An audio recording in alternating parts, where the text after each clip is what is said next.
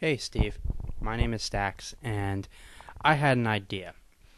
I know you have your Citizen Tube and your Citizen Tube of the Week and your You Choose uh, aspect of the politics and stuff, and those are all really good for the 08 election.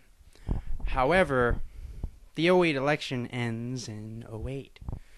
I had a better idea. Sort of a tubelution, if you will.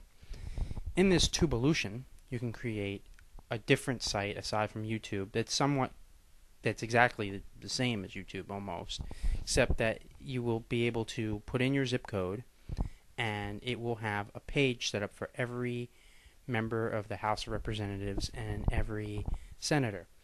And people can make videos to their representatives, and the representatives would be compelled to respond because of the publicity you uh, public pressure you would put on them. So this would cause a tubelution in that representatives would now have to be accountable to YouTube um, users. We would ask them direct questions continuously, not just in an election cycle, but always. Because I noticed when I try to meet with my representatives, I can do it. It's just very hard, and they give you weird times, and it takes forever. And they're very surprised when I do because very few people actually do.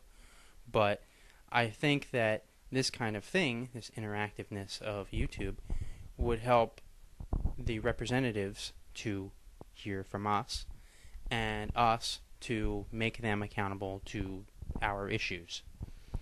And, you know, I think that would revolutionize politics. So I leave it to you, Steve, to create this tubelution and I hope uh, you see fit to give me a sticker and a t-shirt. Thanks.